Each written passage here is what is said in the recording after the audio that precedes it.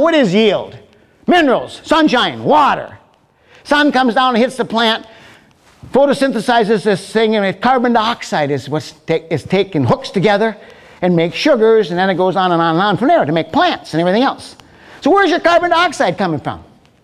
The number one major yield limiting factor on crop production is carbon dioxide. And she said, no. And I said, you work for me. And the answer is, you prove me wrong. You know what she says now? Oh my gosh. You see, we're fighting this thing in environmentally that, oh, we got carbon credits, we got to sequester carbons in the soil. It, our environment, the problem, half our troubles come from, and the trouble is releasing the carbon dioxide at the wrong time. You go out in the fall for our guys, and they harvest their corn, they'll shred the stalks, work them in the ground, and pour on their nitrogen. And right now, what's growing to absorb that carbon dioxide? So as the plants, the aerobic organisms break that down, they're giving off carbon dioxide. So we're boiling off carbon dioxide with no plants growing.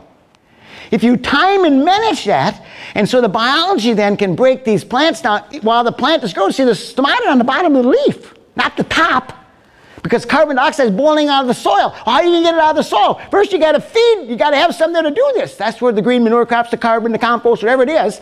So I got to have carbon in there that's digestible by the aerobic organisms. They're like us, they give off carbon dioxide, they're aerobic organisms. And then I got to have a loose, crumbly ground so I can have this gas exchange. Oxygen's got to go in, carbon dioxide's got to come out. If you're a no-till and the ground is hard as this floor, I'm sorry, uh, life down there is not going to flourish. So managing, managing photosynthesis is managing carbon dioxide.